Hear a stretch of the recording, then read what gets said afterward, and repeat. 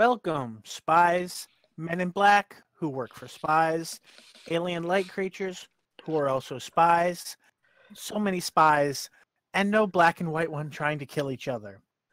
This is episode 335 on a, of an Unearthly podcast, streaming live on the 1st of January 2020. Happy New Year. Tonight we feature Spyfall Part 1, written by Chris Chibnall and starring Jodie Whittaker as the Doctor, Bradley Walsh as Graham O'Brien, Tosin Cole as Ryan Sinclair, and Mandip Gill as Yasmin Khan. I am Bill Sylvia, the man in black, and I fear we dated ourselves with that reference. With me are Randy Ronson McCulloch, Most likely. Mad Matt Winchell, I'm drinking Kool Aid. Tim the Enchanter Sheridan, It's the 20s. Let's bring back the Charleston. and Thomas Fyrehart. New year, better mic quality. And that actually goes for both Thomas and Tim, apparently. Ah, Yay for no thudding mics that cut out. so how was everybody's Christmas for starting? Because we haven't broadcast since the 18th. oh gosh. Uh, Eh, Hmm. not too bad. hectic and Had a pretty I good ju- I'm still getting visited stuff. family. Pretty good. Visited family. Yeah. Got anything good? Oh, uh, I got a DVD collection of uh, the Christopher Eccleston, David Tennant era. Ooh. Mhm. Oh. Yeah. I So got a lot good. of overtime hours at work. Does that count? No. Not particularly. so did Aaron. I got Um, absolutely nothing Doctor Who related this year. Not Mm. even like not even like a pop figure. Oh, that means I got more Doctor Who stuff than you. I got a mug. Actually, a thermos. Star Wars, I then it- got a mug. But then again, I got a Nintendo Switch, so I can't argue. Uh, for big stuff that I got, I my brother-in-law got me Castlevania collection. Uh, Aaron uh got me a Devil May Cry collection that's one through three, Ooh. and I was just given a gift card today for the rest of my Christmas gift from my family, and I've spent it all on the last half season of He-Man I don't own yet. Uh, the Coffin Joe trilogy, and a new copy of Outlaw Star because I have the old Bandai releases which are literally falling apart. It didn't even take them two years before they started to crack. Mm. Those port port DVDs were such garbage cases. um, I I ended up just getting a because there's so many people my parents have to buy for that they just have a fifty dollar limit these days. So I basically tell them if you can't, th- if I don't ask for anything specific, just get me a fifty dollar movie voucher and I'll be good. So that's so that's what they got me. And I got my dad like I didn't get paid until like right before Christmas and the shops had shut, so I had to wait until Boxing Day before I could get them anything. So I got my I got my dad a DVD of Once Upon a Time in the West, and I got my Hmm. mum uh, The Power of the Daleks on DVD. Because Patrick Troughton is a favorite doctor and she loves the Daleks, so I figured screw it. She doesn't have this, so Uh, for the rest of my family, I got my nephew a Mecha Godzilla figure. and Then I showed him some live action footage, and he was floored. um, my younger nephew, uh, my mother had some spare gifts left over. I decided to, out of the pile, to grab a DVD of The Hungry Caterpillar. Um, they are apparently putting those stories to DVD now, which is nice. Those are nice old classics. Um, Yeah, I think I remember those too, because I think Mhm. uh those have been around a while, even before me. yeah, I know. Uh, My father, I got the Rambo trilogy. Yeah, uh, the Rambo not trilogy, the series. Mm. Um, it was a nice cheap box set. I'm like, yeah, this will work. And for my say, mother, get my mother is a Hitchcock fan, so I got her Rear Window. oh nice.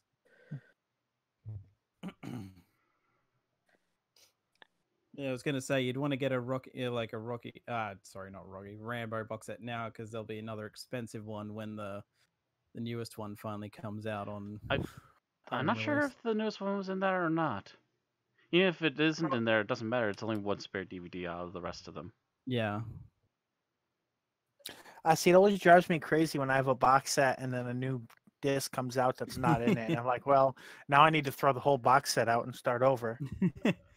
yeah, like I I have like no, no, no, no. I'm too poor for that. all of the yeah i have like all of the i have a like a collection of all the all the bond movies up to skyfall and it's like here's a space for when spectre comes out Mm. and then when i finally got my dad the box set of all of them last year that included spectre so it's like oh you've actually got the full set now Oh, well, now there now there's trailers for a new one, so ah yeah gotta wait for uh, that. Mhm. yeah. And finally, the uh, my body's Christmas present to me was apparently a case of the shingles. If you Oh, don't, that's if you right. don't know, if you don't know what shingles are, they're chicken pox on crack. If Mm. you if you've had chicken pox, you have a chi- about a thirty percent chance of getting shingles, and that's down from fifty percent. Um, but basically, yeah, it stings and it itches and it burns. So I'm basically have that across my neck, which just makes me a wonderful person to deal with. The good news is that Gen Z won't won't have to deal with it because there's a vaccine now. Except that Gen Z's parents are anti-vaxxers, and Tecti- therefore, tec- fuck technic- it, they'll have to deal with it too. technically uh that gives that basically protects you from the chicken pox i don't know if that will stop you from getting shingles or not Yeah, because Well, you said you get you're gain- shingles if you if you already got the chicken pox, right? it's but yes it's See, still the vaccine is you- still a small amount of chickenpox in it, Mm. so Yeah, it's it's still the virus. Possible. yeah because basically shingles is the chicken pox virus going you know what it's been several years since we've uh, done anything let's get together and have a reunion let's throw a party and invite everybody Mm. So shingles is essentially Blues Brothers, only less light. Yeah. um either way, it's I fortunately caught it within the first 72 hours.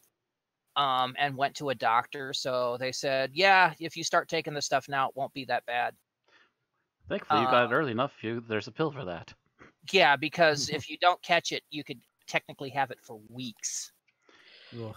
And um apparently it's uh it's a 7-day uh pill regimen and it's supposed to be gone or virtually gone by the end of the 7 days.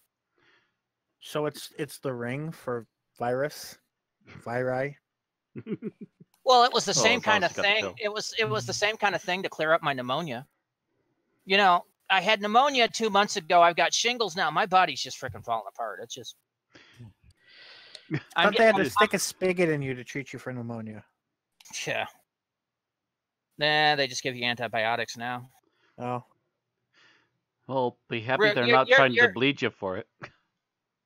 I was gonna say your medical knowledge is really uh, kind of that- 19th century there. I mean that Bill? that is my, my my uncle was saying that's what he, they had to do to treat him for pneumonia was they stuck a spigot in his back. Ugh. Ugh. Somebody's a little bit chaotic, uh, archaic rather in their where, doctrine. where, where was he? The backwoods? nah, see if there was the backwoods, they'd have an herb for that. Because you know, if the problem was he had too much fluid in him, you know, that's that's what they make Lasix for. And I know all about that shit because I got to take that too. Yeah. Ugh, God, I hate getting old, and I'm only freaking forty something. I shouldn't have to do this stuff until I'm over sixty. God, I hate my body. Can I regenerate, please? I'm sure someone's working on that right now. Let's shoot you with some plasma energy and see what happens. As as long as his name isn't Rassilon, He- he- somebody- yeah, Randy goes from just- Ran to Rassilon. with one regeneration. Ran salon. No. Ransel. All right. Anyway, on tonight's show, we've got news and birthdays. We've got some geek talk. Um, did I see a review of Shame on there? Yes, Yes. there is. All right. So we've got a review of Shame coming from Bill. It looks like. hmm Um, do we have a.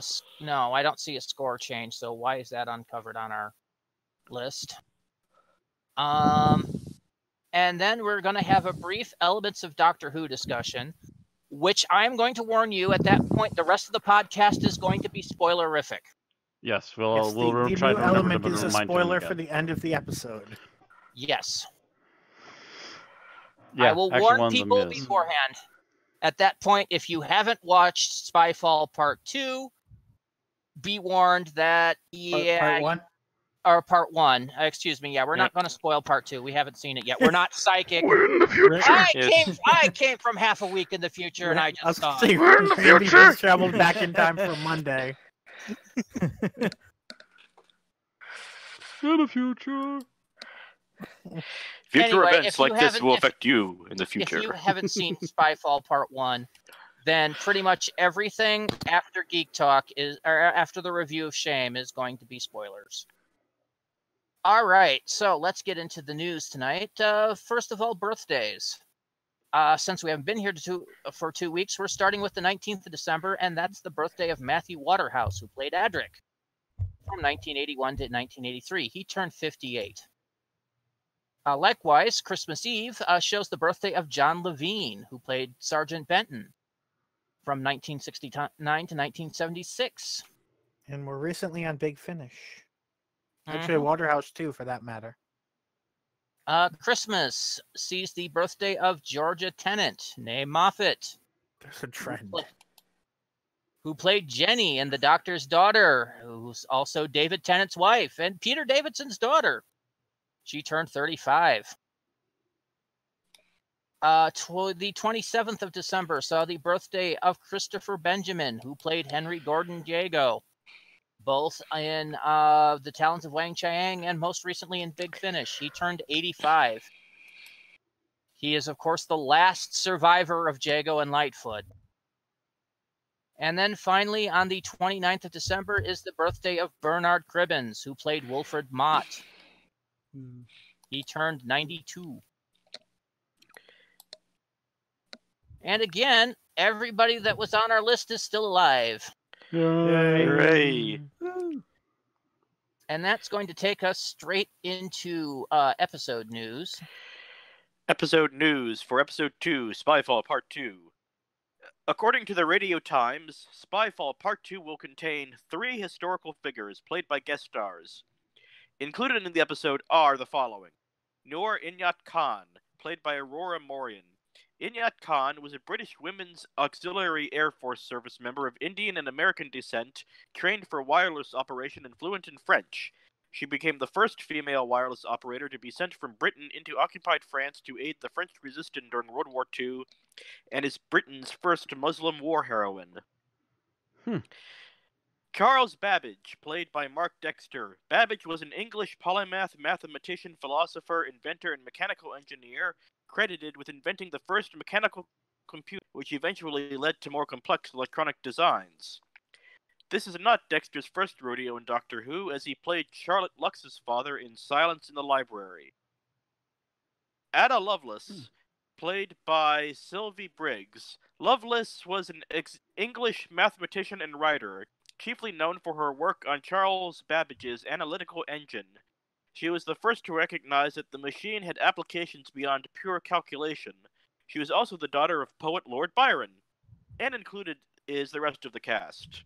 List which includes Najia Khan, played by Shobna Gulati, Hakim Khan, played by Ravin J. Ganatra, Sonia Khan, played by Bhavnisha Parmar, Daniel Barton's mother, played by Blanche Williams, Perkins, played by Kenneth J., Inventor, played by Andrew Piper, Airport Worker, played by Tom Ashley, and finally, a synopsis.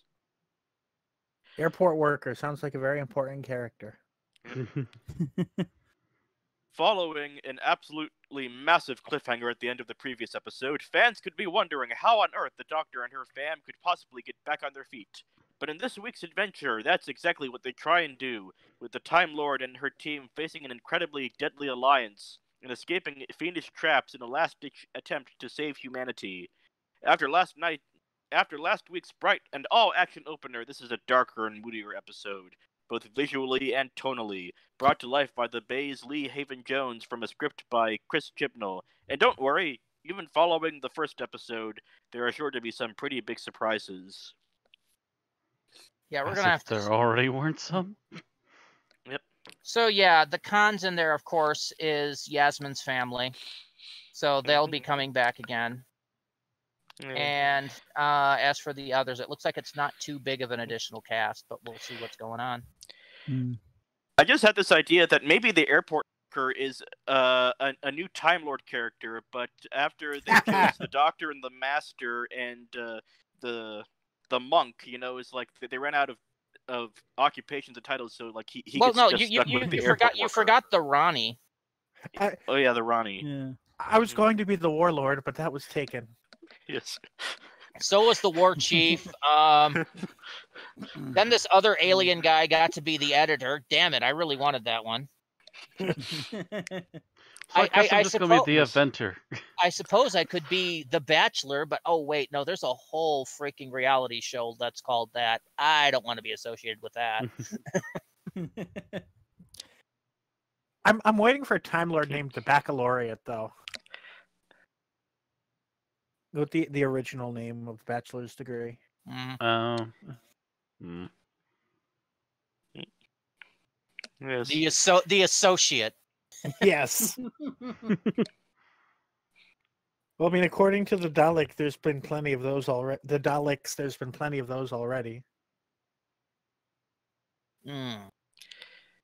Okay. I also have Alright. some news about episode three, Orphan Fifty Five. Speaking of synopsis and catalysts, we have one for episode three as well, as well as the title of the episode, Orphan Fifty Five. Having decided that everyone could do with a holiday, the doctor takes Graham, Yasmin, Ryan to a luxury resort for a spot of rest and relaxation. However, they discover, excuse me, However, they discover the place where they are having a break is hiding a number of deadly secrets. What are the ferocious monsters that are attacking Tranquility Spa? The doctor should know by now. Taking somebody on vacation never leads to a vacation. Although, to be fair, in at least one time, it led to the Doctor being attacked by a monster, but the companion having a vacation. True that. Yep. Actually, Laura they did Fraser successfully have a vacation Kate. one time for about a day or two. Is this the Romans? No, Oh, I was I was talking about when they finally reached the Eye of Orion, ah. Yeah. And then they freaking got and the then a little while, yeah, a few days into it, all of a sudden they got abducted and got thrown into the war games. Yeah. So the last real vacation was the Romans. Uh, Is that a vacation? They got attacked after that during that too. So.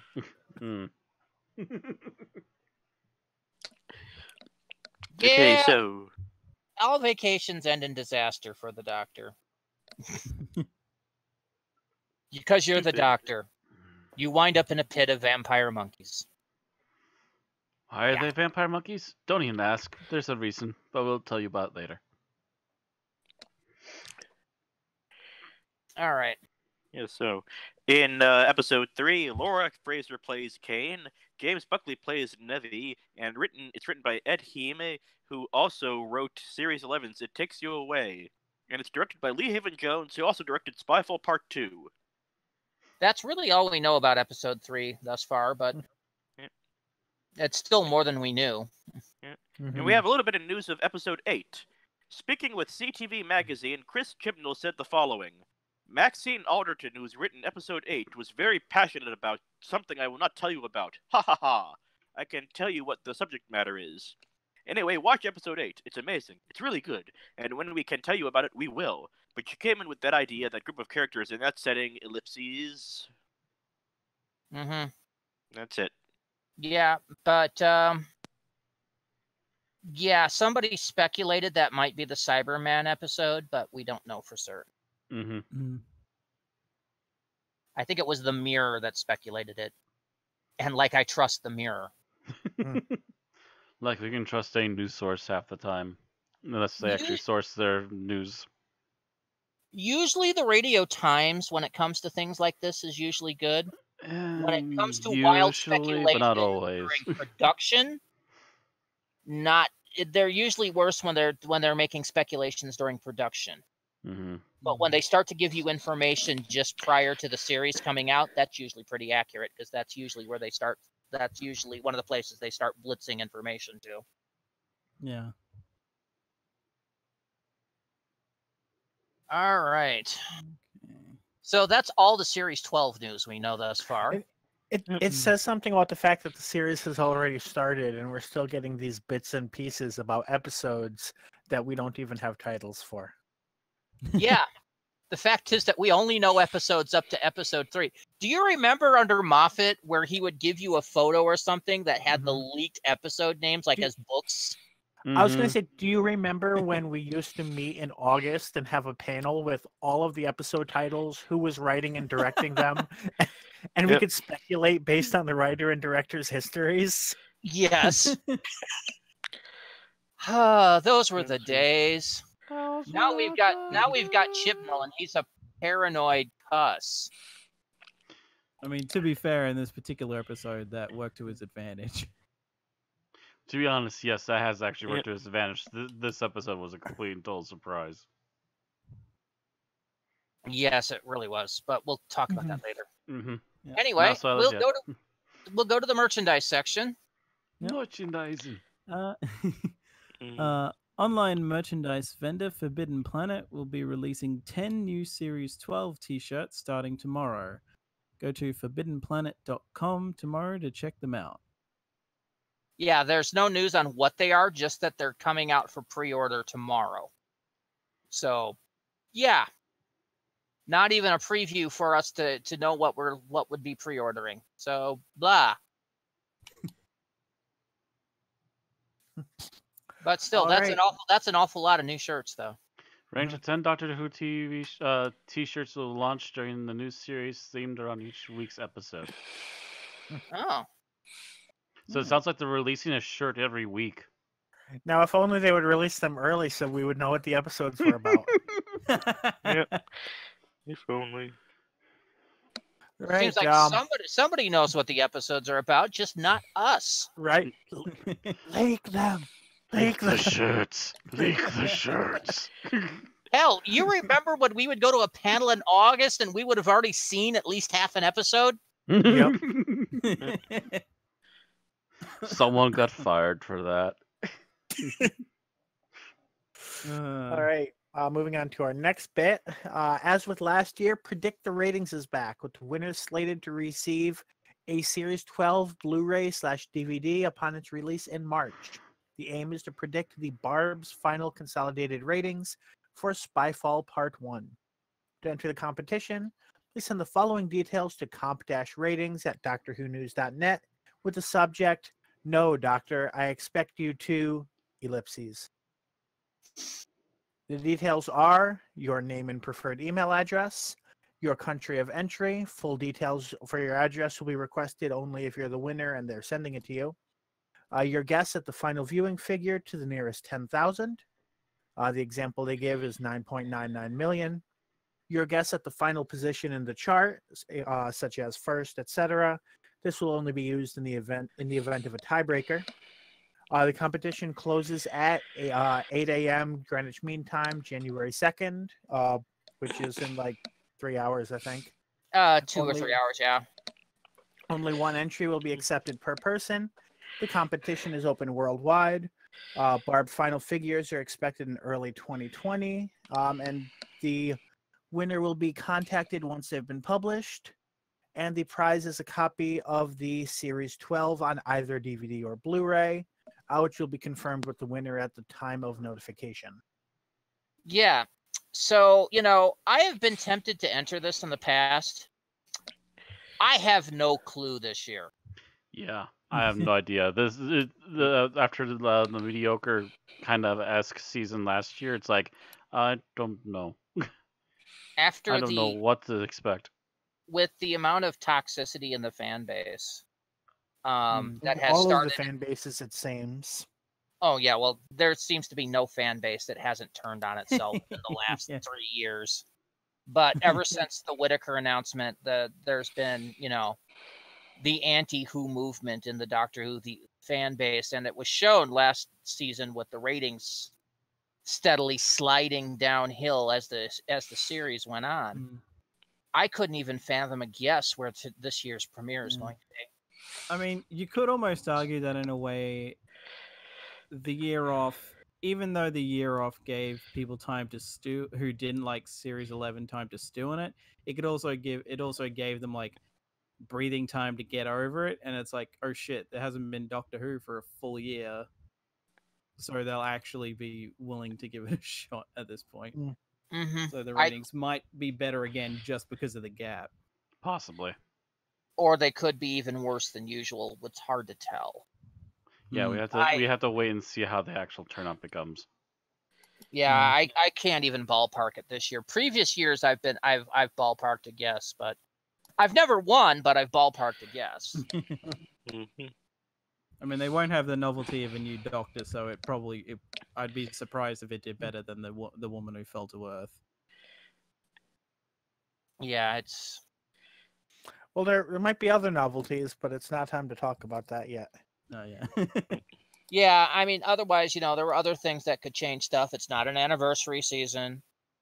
It's not a Mm. new doctor. So yeah, it's kind of hard to tell. Ugh. Anyway, moving on. Uh, finally, after a couple of years, UK viewers can see d- classic Doctor Who the same way Americans can.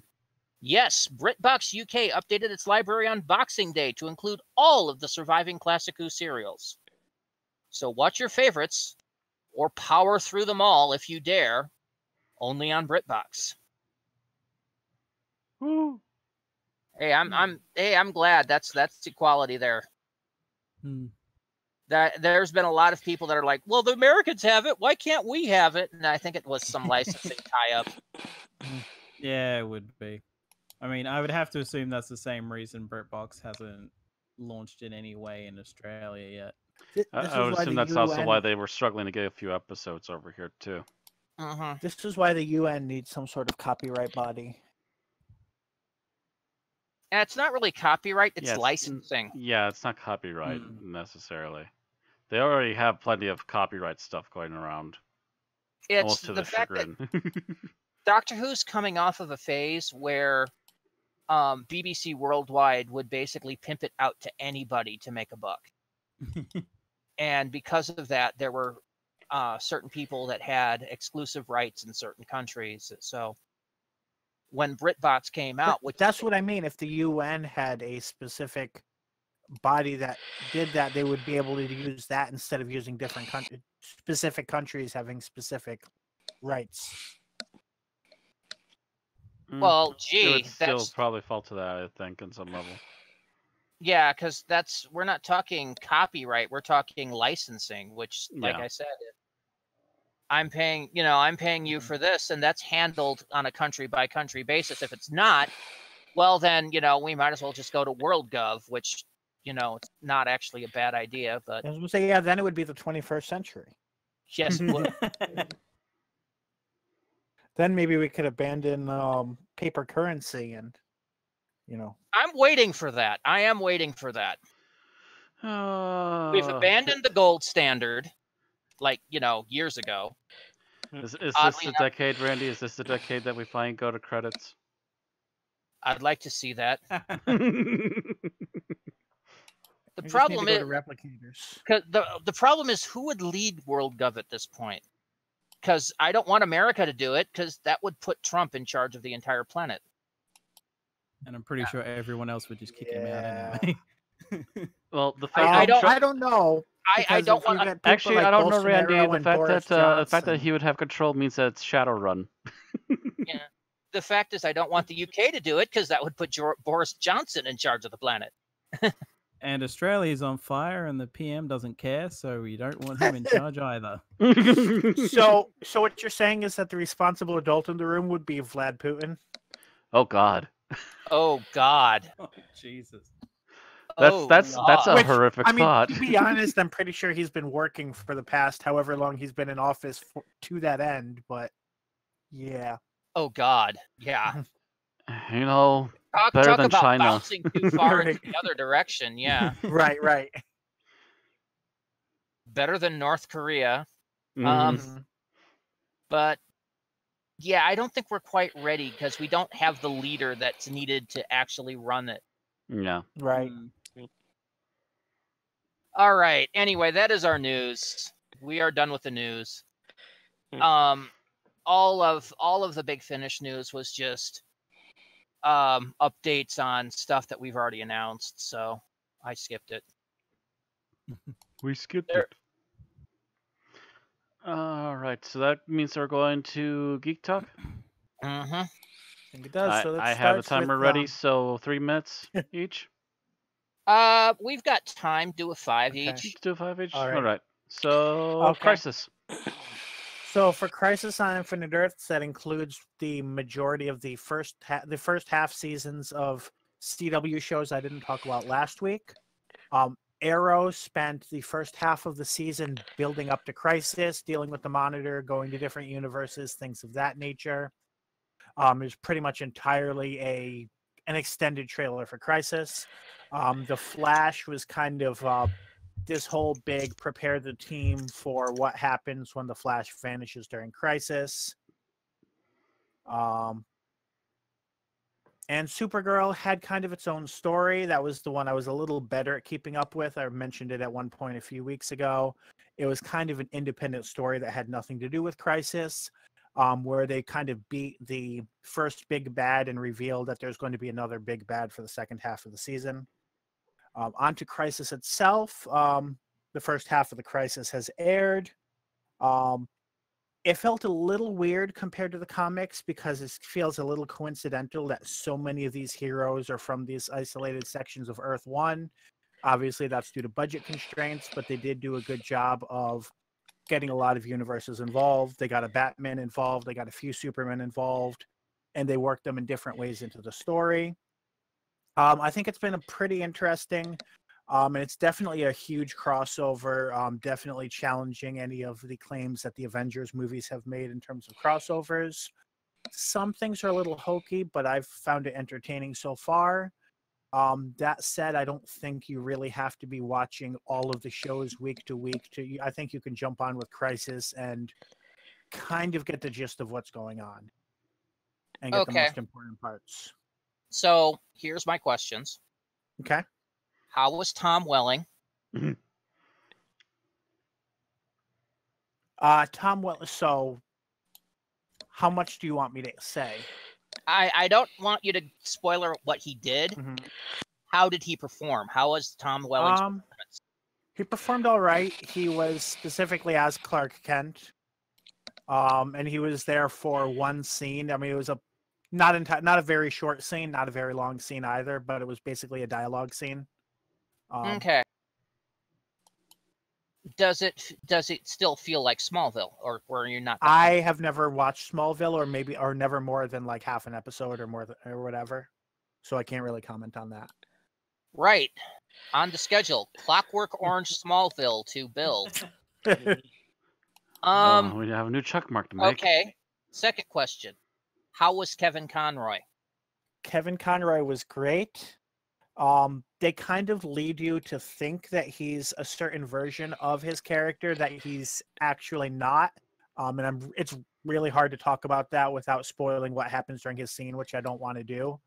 Um, but he he plays the role he's given very well. Okay.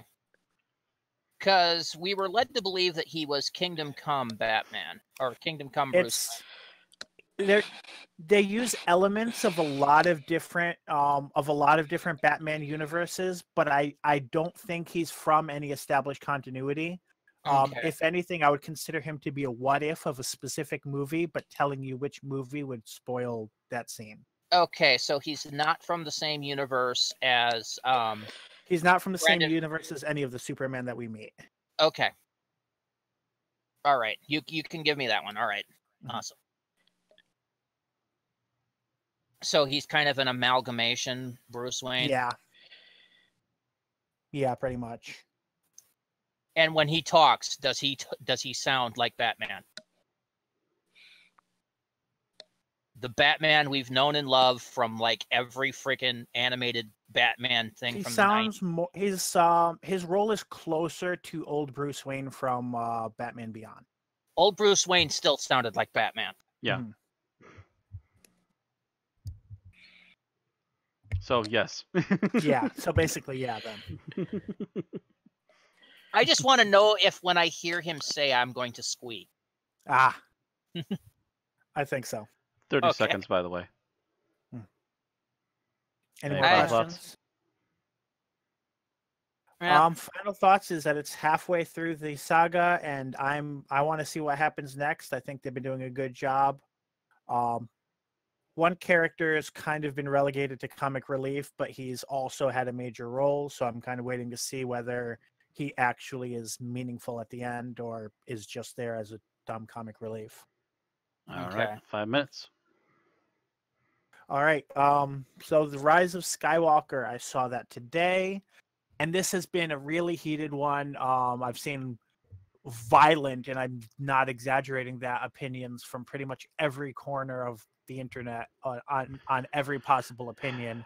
Um, my opinion on it is that I came away from it uh, feeling better than I did either of the previous two numbered episodes. Um, I don't necessarily agree with all of the story beats they were continuing, but I think they continued them in a fairly good way. Um, they brought certain things back in a way that was meaningful for this story. They set up a new story element, um, explain, you know, showed it to you and explained its drawbacks, and then used that in a meaningful way that advanced the plot. Um, so ultimately, I would say um, without spoiling anything in specific, that The Rise of Skywalker was a fair, pretty good movie um, of of the of this trilogy. Uh, I do think it was very timid in the sense that they tried not to disappoint any fans, and obviously failed very hard with a lot of things. Um, by which I mean they tried to they tried to leave enough wiggle room that every possible ship that people have been talking about on the internet all work at the same time, which is not how stories they work. Need to stop.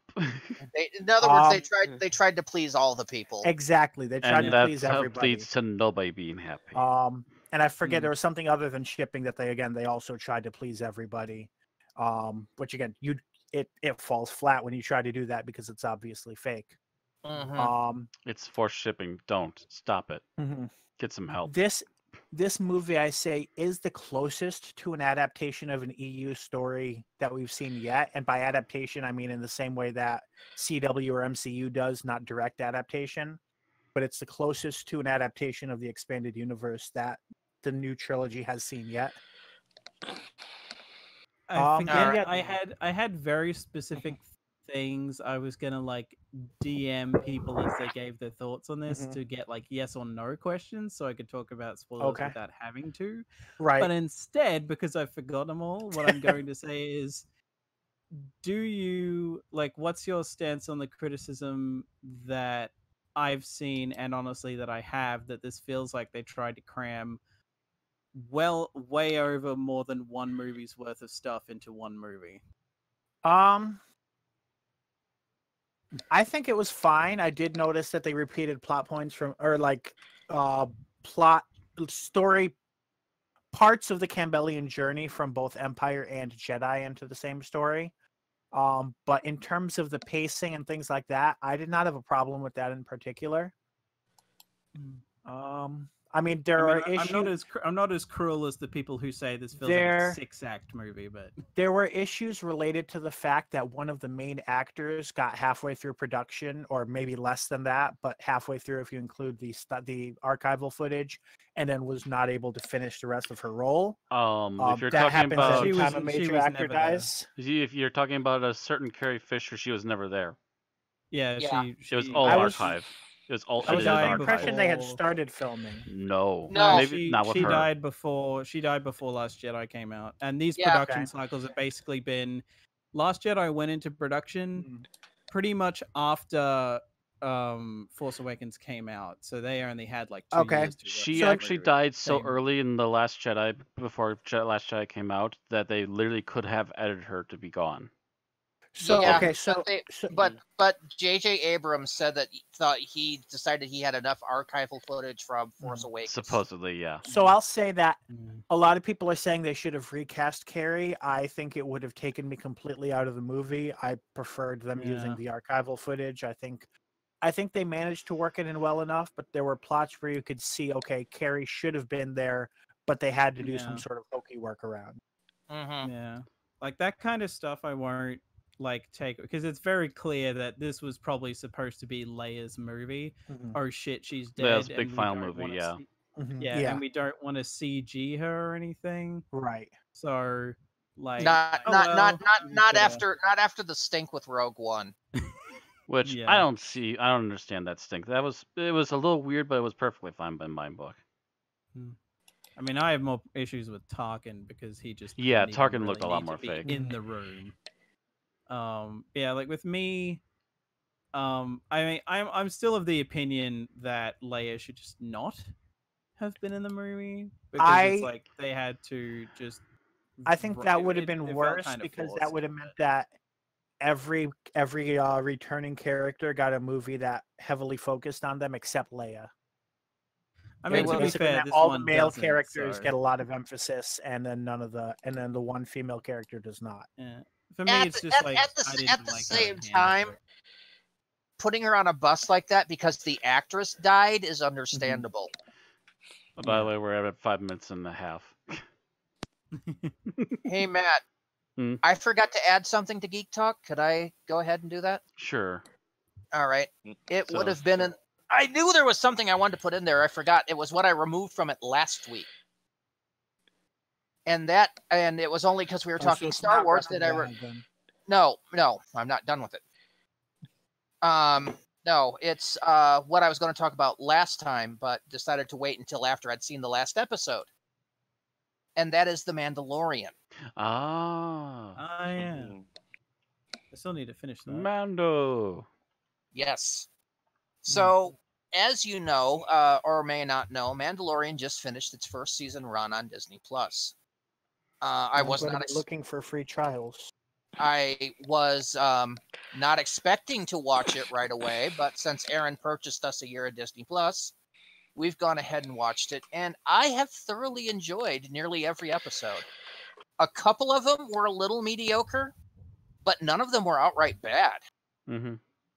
um, the character himself of the Mandal of the Mandalorian, aka Mando, is actually pretty cool. A lot of people compare him to Clint Eastwood. I compare him more to Snake Plissken. um, he's a bounty hunter out there. He's basically getting the job done, but he usually finds himself, you know, in a relatively horrible situation and has to get out of it some very sneaky ways. Um, you have Taika Waititi playing IG-11 in a couple of episodes, who is a bounty hunter droid. And if you know anything about Taika Waititi, he is hysterical no matter what he does. uh, they let him direct the final episode, and the opening scene comes out like you'd expect something from Thor Ragnarok 2. It's literally two stormtroopers talking to each other, and it's just a stitch. I'm laughing my ass off the entire Yeah, that's the scene where they made the fact that they can't hit the broadside with barn cannon. Yes, yes, they're they're basically they're idly waiting to go into town, uh, for clearance to go into town. So while they're waiting, they decide to shoot this piece of idle machinery, and neither one of them could shoot it. And one of them's, you know, looking at his gun, shaking it, trying to figure out why it's not shooting right. it's just a great, it's freaking hysterical scene. I I saw that scene. I'm like, dude, just give him a whole movie. Give him a whole Star Wars movie and go run with it. He needs to mean, make the Star Wars I can comedy tell- film that we need. as far as I know, they're focusing more on standalones now. So hell, why not? It's possible, Um, yeah. but the the it's a great story um there's a lot of guest appearances by by people because you know they he kind of goes to various planets trying to hide from the bounty hunters that are trying to kill him I believe, um, yeah, Bill Burr uh, features in a couple of episodes as a sharpshooter. uh, in one episode. I heard Also- for sure one that there's a possibility more, but yeah. Uh, nothing in there's Nothing in only one this okay. season. Yeah. Um, Clancy Brown's in it in one season or in one episode. Um, it's there's just a cast of, of various characters, a few of which make repeated appearances. Um, and then a few of them are just one shots, at least at this point. Um, the bad guy is great, and I'm not going to spoil who that is if you haven't seen it but uh, the the the final bad guy is great. The last thirty seconds, you're like, oh holy shit! So yes, you want to see more of this. This is, in my opinion, this is the best Star Wars that's come out in a few years. I've not, I wasn't that happy with Force Awakens, and I was not happy with Last Jedi. But Mandalorian brought some of. I was basically saying at that point, I'm done with Star Wars. So I, But, I have to ask, seeing Yeah, go ahead. I have to ask, seeing some of the reactions, is it basically the Baby Yoda show, or is it actually focusing on the Mandalorian? It focuses on the Mandalorian. Okay. Hmm. Baby Yoda is Baby a Yoda is just so highly memeable. yeah he's highly memeable and the there he the Baby Yoda is a question where did it come from um what is it there and Well, I mean when a, when a Yoda and another Yoda love each other very much. Actually, we don't know if they have that ability. yeah we know nothing about the we don't even know the race name Yeah, Yep. To be honest, I want. that's why it's called Baby Yoda by the fans. Yeah. Mhm. But we don't know where the baby came from. We don't know where its home world is where it's that and uh all he knew is the fact that uh, the empire were going to uh abuse it or the remnants of the empire. So he basically took it under him under his wing and that's most of the the plot of the series is him hiding from the bounty hunters that these ex-empire goons are sending after him. Hmm. as he's trying to figure out what to do with the, the baby or the child as they call him um I've, I believe the number one thing I've heard this referred to as is lone wolf and cub. it is Mm. kind of lone wolf and cub Makes but sense. it's it's about both of them hmm but you get some real focus on the Mandalorian, his history, the fact that he's a foundling and not a true child of Mandalore. Um, and they go into some more detail on what the Mandalorians are, as kind of almost like a religion at this point. It's a code, a creed. Yeah, the I think gist I get is that it borrows a lot from the Karen Traviss interpretation of Mandalorians. It I don't know could very much, but mind you, this is done by the same guy that did Rebels. Um, and I think did a chunk of Clone Wars. So he's basically the one that's been doing the Mandalorian stuff throughout all of the Disney um run. As far as writing, you mean? Because the Yes. showrunner is Jon Favreau. Yeah, and Favreau was behind Rebels. Favreau Huh. was um on the staff for Clone Wars, but I'm not. I don't think he was lead. But he, I think he did the Mandalorian stuff. But so yeah, this has been his baby, and he's running with it. And rumor has it he's he's might be on tap for doing more in the regular movies. That's Hmm. that's definitely a theory going around. But if if so, I mean, if it comes out like this, it's worth it. Oh, Mhm. by the way, uh, the fact is that they got for there is a scene that has a like I said, there's a, these ex Empire guys, and they're still using stormtrooper uniforms. So they had a scene with a whole bunch of guys in stormtrooper uniforms. They got the 501st to do it. If you don't, nice. yeah. I'm sitting here watching an episode with them, and I'm like, okay, that's a 501st, that's a 501st, that's a stunt guy, that's a stunt guy, that's a regular actor because he's speaking, that's a stunt guy, and those are 501st. You know, if they're standing around or they're moving from one place to another, it's 501st. If they have to take a fall, it's a mm-hmm. stunt guy. but still, it was kind of awesome that they did that. There's also another scene where there's some new uh, New Republic uh, X-wing pilots. They're all played by the various directors for the series, Ah, Oh, So except, the- for, except for Favreau, who has another character he does, and Taika Waititi, who does IG-11. so the theory that it's set before Return of the Jedi has been debunked then. Oh yeah, it's about nine years Yeah. after the Battle of Yavin, so it's about five years after Return. Yeah, it's yeah, it's set between the originals and the sequels. Yeah, it's basically the New Republic is uh, a thing, but the galaxy is still pretty much a chaotic mess after the If collapse. I of the if I heard this correctly, Yeah. matter of fact, uh, Tatooine has essentially stormtrooper helmets on pikes, do they not? Mhm. Yeah. Um, and then and one well scene there. on, on the main on the main world they're in, um, they uh, are roasting one of those monkey guys that Jabba had as his. Uh, Uh, Kowakian monkey lizard. that's the yeah, they're roasting one of those. Oof. I'm just like, whoa, the world's gone weird. Tatooine got dark. Well, no, it wasn't Tatooine. It's the the they're, the he's not based on Tatooine. He's based Mm. on another world. There is a episode that they go to Tatooine. Yeah. But that's briefly because his engine broke down and he needed to get it fixed. But yeah, it looks like basically the empire is gone. It looks like the Hutts have been cleared out because there's a lot of places you see with hutty with huttish architecture, but are not in the control of the Hutts. So either hmm. they've been they're gone or they've far been reduced in the size of their. influence. oh, I should have Yeah. keep better track of this. Yeah, we're at nine minutes now for this. okay. Either way, Stop. Watch the if you've got Disney Plus, watch The Mandalorian. If you've got a chance to borrow somebody else's Disney Plus account, watch The Mandalorian. I All right. yeah, I need to find a way to see this. Anyway, uh, next item was. Oh, actually, And uh, should be, should yeah, be should be review of going to uh, Ah. review Shame. So that's me again. All right. So um, Unicorn and the uni- Wasp. Yep, Unicorn and the Wasp.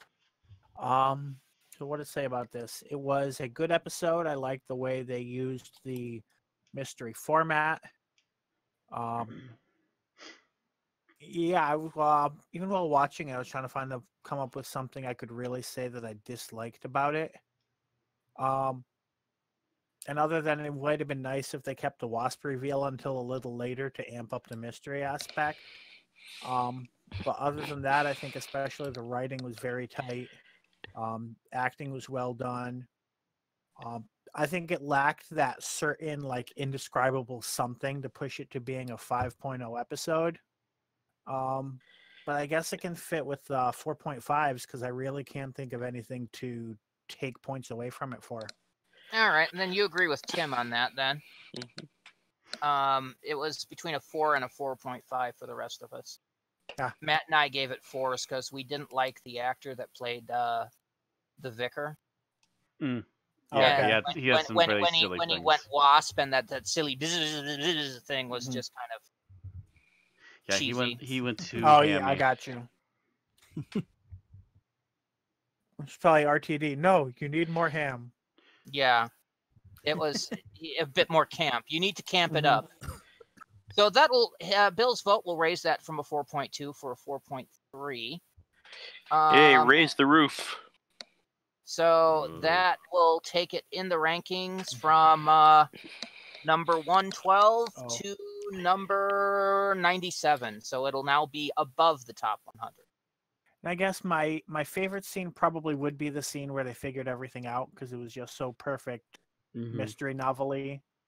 Um, least favorite scene would probably be how they got rid of the wasp because it went from I had I don't know, issues with just- that too. it wasn't all that creative. Yeah, that was really yeah. lame. And yeah, I guess that's about all I can come up to say unless you have any questions about what I thought about anything.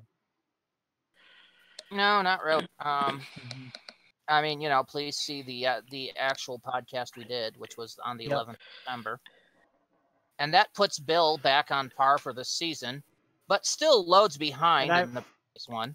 I, I I've set myself the goal of catching up with all of my reviews of Shame by the end of 2020. Well, we'll see about that, Bill. We'll see. you Yeah. you you realize, Bill, That means You're- one a week through most through at least the beginning of the summer. you realize, Bill, you never did a review on the Battle of Ranskoor Av Kolos from last series. Yeah, that's on my list.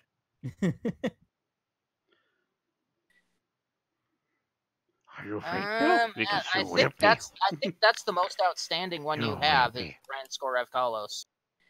Uh, But that started. one from before that. I'm looking. That torch. You you have a Torchwood missing from the same season. Hmm. Um, and everything else I'm seeing is ones that we that uh, nobody had votes on. So, yeah, Ranskoor Av Kolos looks like the last one that you're missing, or the first one you're missing. Torchwood from that, and then a buttload from last season. Yeah. All right. So are we on to our last bit of today? We're up for uh we're up for the spoilers. We are Ah, up yes, to time to yes, talk about new elements. Of Yes, Oh, Doctor we are that's right, going to talk about the elements, elements yeah. of Doctor Who. And before that, everything after this in the podcast is now into spoiler territory. Yep. So if you're avoiding spoilers- If you're avoiding spoilers, close the episode, go to bbcamerica.com, which is probably up there by now. Watch the episode and come back. As long as you've got Or cable, if you're American. Purchase it off of Amazon Prime or whatever access you have to getting uh, media, because that's where it's all going to. Anyway, so elements of Doctor Who. This is not a usual element we have, but Hmm.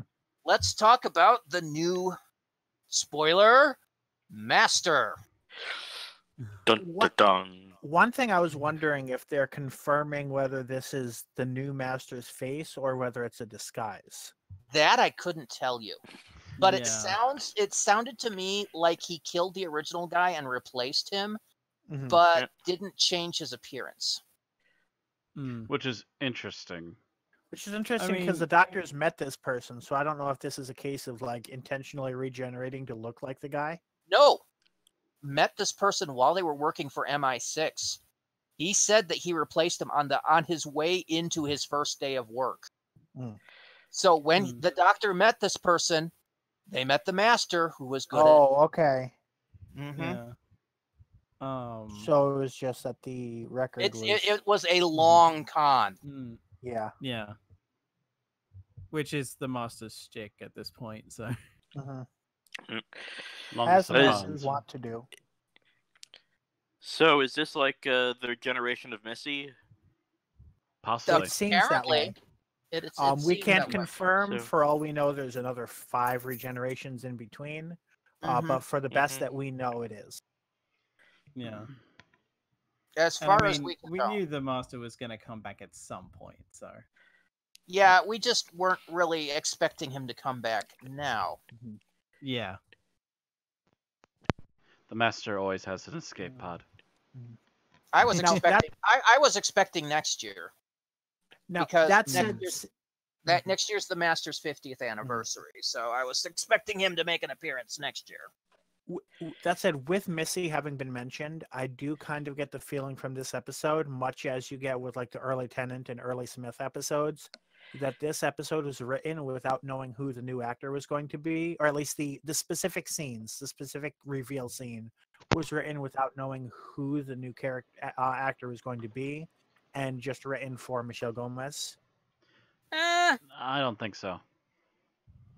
I think it was Mm. written generic master because there was a Yeah. there was some John Sims ish in there. Mm-hmm. Mm. Um, and I guess Uh, you could argue in the way it's like it almost. I don't know why, but maybe it was just the whole sort of giddy, campy reaction to the re- like the reveal. Also felt a bit Anthony Ainley. Mm-hmm. Yeah, that's it, I think it was written generic Mhm. master. Mm. Um, not really. And the thing is, you know, I've always said Missy came off as kind of a female Anthony Ainley. A lot of her Mhm. expressions were the same as Amy's. Um, I, But I, don't think she was why. a little more sinister than Ainley at times. at times. Yeah. yeah. or at least she was allowed to be. Well, when she came out, Now- she was complete and totally Andari. That's That said, um, was Ainley the last time before today we saw tissue compression?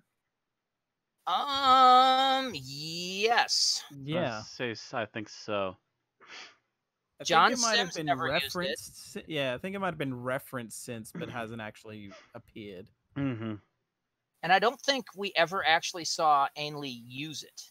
No, wait, we did in Oh. Logopolis. Yeah. Regardless, And We- uh Planet of Fire, he somehow does it to himself and doesn't die. Which is weird, but yeah.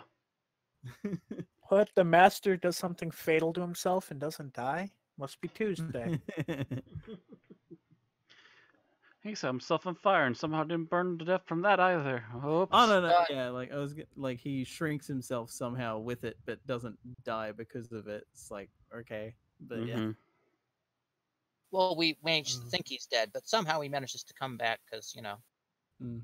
He's basically made of Um. will and evil. Um, Which I will say, I hope that's. I honest to God hope we don't get an explanation. Like, I kind of like the idea of with Anthony Ainley, he just kept coming back, and it's like, well, fuck you, I'm back. Who cares? And it's like, yeah, honestly, fine. I'll I'll I'll give them the benefit of the doubt. Let's just roll with it. I don't need like half an episode worth of explanation on how the on how the master came back. It's like they're back. Cool. Uh, Actually, y- y- y- it doesn't even need that. It, like literally, all the explanation the master needs to give is, "You fool! I used an escape pod. How else do you think I escaped?" but okay. So, what do we think of what we see of this master as opposed to the previous masters? Let's not get off topic. hmm Uh, it's kind of hard to judge because you only really get the one scene, Mhm. Really. You get I a do few like different the- moods during that scene, but yeah. yeah, Yeah. he seems to If you- be a nice yeah. wide collage of some of the previous masters. I'm waiting to see Mhm. what he does Yeah. with the rest of an episode. Now that he's revealed Mm. himself. It does seem to be that he's doing a bit of a backslide. I mean, the oh yeah, yeah, he definitely yeah is going very Simm-ish in mo in yeah the whole um the whole uh becoming a hero arc seems to have Been ended. dropped. Yeah. Mhm. Yeah, Mm, Well, it's a regeneration. We don't expect everything from Missy to stay. Sadly. yeah. Yeah. I'm back Oh. in evil, baby. Yeah. yeah. like, okay. Um, and speaking of comparing to Missy, so I've been going back and forth as to how I what I was what my hopes were for the new master. Um, I have this fear that um they'll now that they've done one female master, just do a ton of men and be like, oh yeah, that was just a one off. And I'd much rather it be like, no, you know, the gender is random or whatever, and kind of stick with that as being going back and you know. So Not necessarily back and forth, but uh, yeah, just like don't Yeah. always just completely do it one sided of the coin. right? Yeah. I, I'm also afraid that they're going to be like, oh well, last last time was a woman and this time is a man of color. See, we're we're clearly very diverse and just like without any more thought to it, because that's yeah, just, that just would scream, uh, just that would scream just the word it- diversity and expect Yeah. everyone's going to clap, uh, e- even That's- though if it's an actor that doesn't fit the role well. that's a way to piss the left off, piss the right off. Here I am stuck in the middle with you. hmm Don't know what else to Um, do. uh,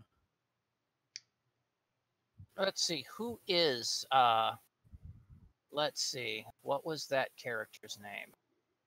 Oh. Oh, okay. So yeah, that's he, Sacha uh, the- the- his, his nickname is O. So that's that's that's the new master is Sacha Dhawan. And I swear I've seen him in stuff before, but I can't place him. Um let's see. I'm trying to figure out what I might have seen him in. If I've ever seen 24 living a day. Oh, he was Davos in Iron Fist.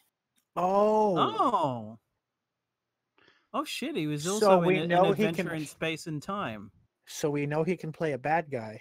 Oh yeah, he was playing Waris Hussein in Adventure in Space and Time. Yeah. I didn't even recognize him. And it wasn't that long since I watched Iron Fist. Right. oh, so yeah. Like look, looking at his IMDb picture, I immediately peg him as Davos before anything else. But, Well, that's because that's him circa 2010. mhm. Um, Mm. or actually, no, that's his that's his wiki page. Um, what's his what's his IMDb one? Um. Oh yeah, okay. he's got the beard and everything, which I don't think he has in Doctor Who. he has a, a he has a bit of scruff in Mm. that, but not a Mm. much. He has the unshaven look. um, but yeah, he was he. I mean, we just watched him in Iron Fist. You know, last uh two years ago now. 2020, Oh, Randy. Remember? Yeah. Ironically, he's in. Um, I don't know if that's right. Well, coincidentally, I should say he's in Moffat's new Dracula. Really? Well, apparently, Yep. apparently he was in an episode of Sherlock, so Ha. that would kind of fit. Mm-hmm. oh wow, yeah. So yeah, uh, we know this guy can do Sinister because Davos kind of went off the nuts Sinister. he was he was in that shitty Will Smith Shyamalan movie. Oh dear. I forgot that was the thing. Thanks for reminding me, Bill. The, literally, the only thing I remember about that movie, other than it's that, other than that, um, Jaden is in it, is that, um, Are you talking proves that After Earth? Yeah. is that it proves that M Night Shyamalan can suck the charisma out of any actor. Yep. Yeah, the Will Smith was basically wood in that. Mm-hmm. But yeah, he does have a good list of of sources, and we have seen him do Sinister before. Yep. So this actually bodes well. Yes, this actually does bode well for him playing a good master. And the fact that we didn't recognize him shows that uh, he had, can, you know, do a bit of a range. I think. Mhm. Yeah, he completely Yeah. fooled us. Yeah. 'Cause, yeah, I saw him in uh, Adventures in Space and Time, and I totally did not recognize him. Yeah, I Hmm. didn't recognize him from that to Dav- to uh, Davos. So yeah. yeah, this is that's. I think this is a good a good a good go. I think he if they're gonna Yeah. keep him as the master to show up every now and again, this is gonna. I think This uh, this has potential, Yeah. yes. Yeah, because I think it's like it, we really will be more so the part two to judge him by because I feel like given how that scene ends, it's more like he was all giddy to start with, but gets more serious in the end bit. So it'll be like Mhm. see Well, how it- it- the it's portrayal like- carries over. It's like him enjoying the finally the payoff. You know, hmm Yeah, having having to do this long game yeah, and then finally being able to go, yes, I finally did it. Of course, he is counting uh, a bit ahead of time as he's like, I finally got you. And I'm like, Mm-hmm. Oh, and every yeah, time right you now- shout, "I finally got you," you always somehow foobar. Yep. So, Well, I I- mean, I waiting am Well, I am kind of wondering if we if we're if we're going back to the Ainley kill the doctor. Uh, uh, I think we're going back farther. I think we're going back to the Delgado team up with an alien race and then get betrayed in the last part. That's a possibility. Yeah. Yeah. All of a sudden, these uh, laser light beam guys will suddenly turn on him. We'll go into that in a, m- Probably. in a little while. God, hold you Yeah. know though, the, them revealing the master now makes me wonder: the Judoon coming back. Will that have anything to do with them now? we don't know. We'll have to see. That almost makes me think you're suggesting that that almost makes me think of an of an entire season about the master. Well, no, we just the uh 12th Doctor kind of had entire seasons about the master, so we wouldn't want to re- Mhm. revisit that territory again. I don't know. This this if if they do that, that would almost make this back to Third Doctor. um back to um the third Doctor era where the Master was the villain in each Yeah. one. Yeah. But Mhm. if they are using the Master to tie the episodes together, I'm actually for that Hmm. because if it's one thing that Series 11 didn't have was something to tie the episodes together. yeah. Mhm. They kept Yeah. getting little Which- references to Missy, which- but they never really tied it together until the very end. Which is kind of funny because at one point we uh, Not not had Missy. we had received No. rumors that it was basically going to be a 10 episode serial. Mm, that's true. They were kind of hinting at that, weren't they? uh, this season, Yeah. No, the last Uh, season. previous. and it turned out to be completely wrong because Yeah. it Right. turned out ten episodes of disjointedness.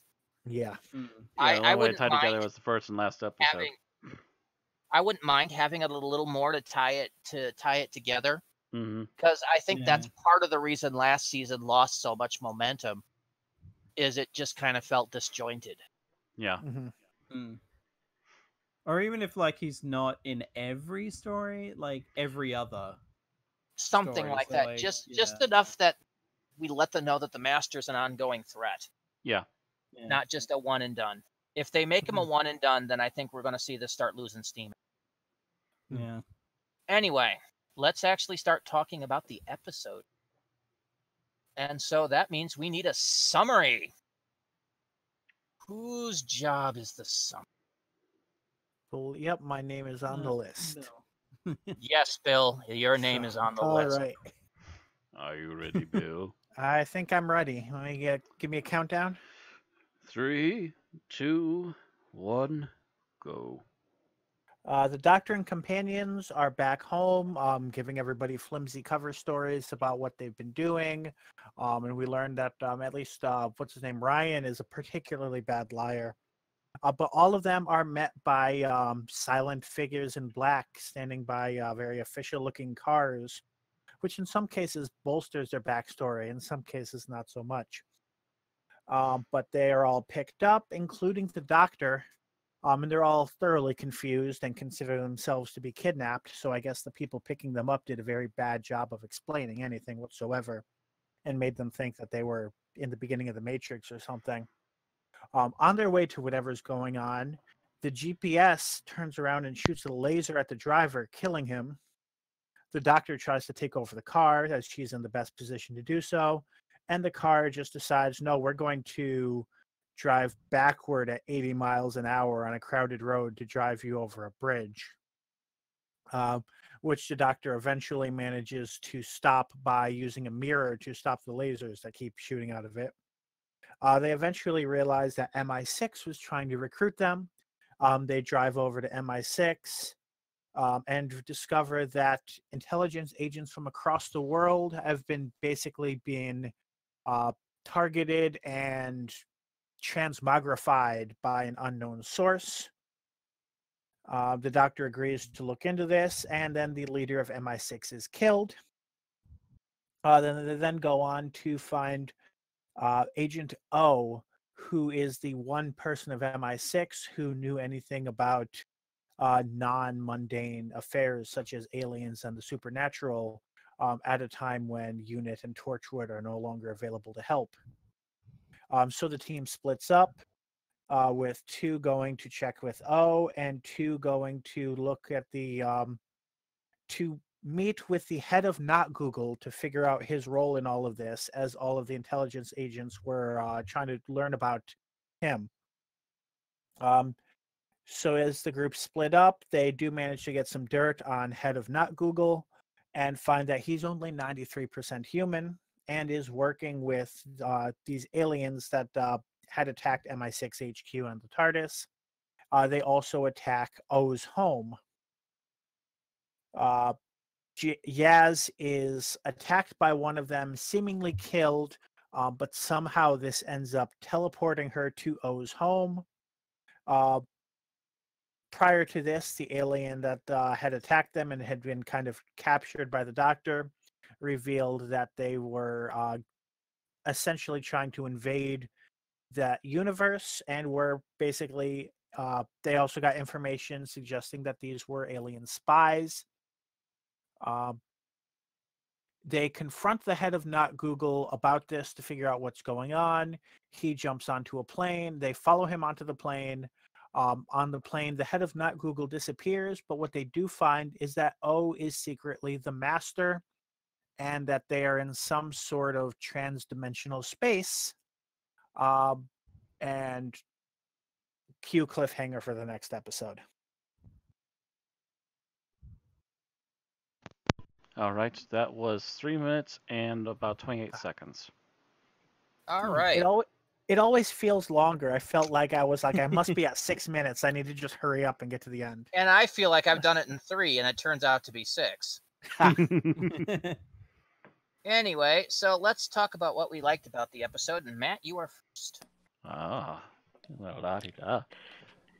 Um, I love the feel of this episode. Uh, the, the the they they they play the spy theme pretty nice and well, but they still throw in enough of the sci-fi that you still feel like you're in Doctor Who.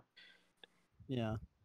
And I also, speaking of the feel of of uh, of uh, spy thriller, I love the little pseudo nod of Doctor No theme that they played just as they're walking up to the casino party. I heard it a mile away. I'm like, oh, I wish I could have that for the uh, opening for tonight.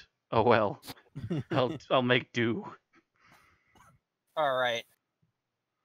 Thomas, what about you? I really want to go for the obvious, but I'm going to leave it for someone else. So instead, I'm going to go with the fact that Yaz had something to do. Yes. Thank Mhm. God, finally. She had something to do and she had someone to talk to.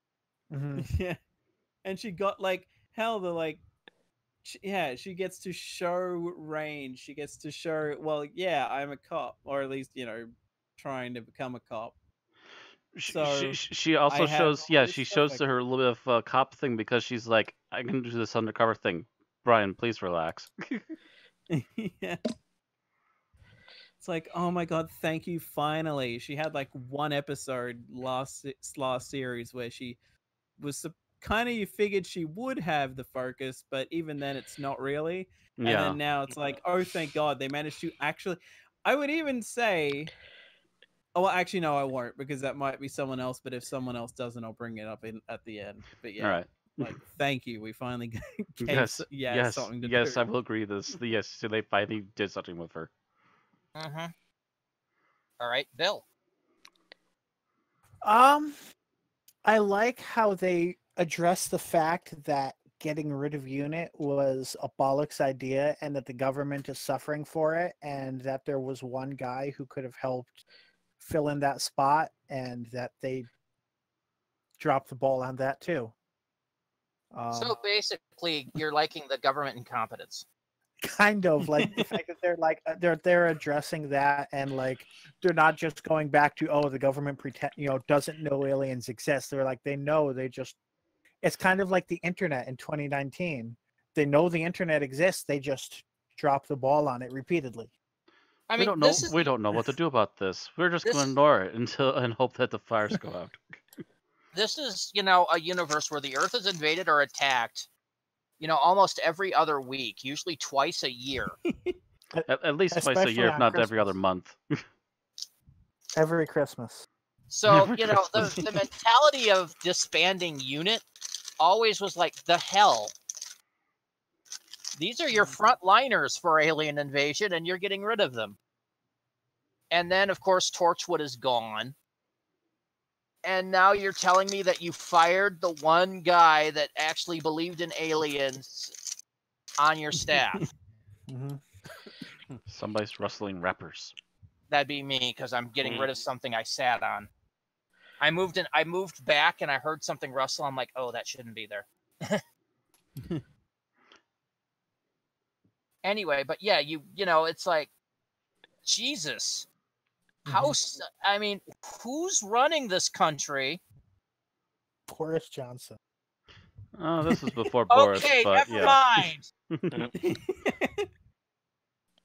The guy can't even separate from the EU properly, so no, I don't expect him to be running. Actually, actually, this was still technically before Boris. So who was the previous prime minister again? theresa, Theresa may May, Theresa May. who was, who was just only marginally better Either way, hmm. I don't know. load She wanted to bring back fox hunting. Either way, hmm. we're looking at no. All right. So, Tim, I just love the pacing of this episode. Uh, like it when it hopping from like locale to locale and scene to scene, and just like from like one storyline where, you know, of uh,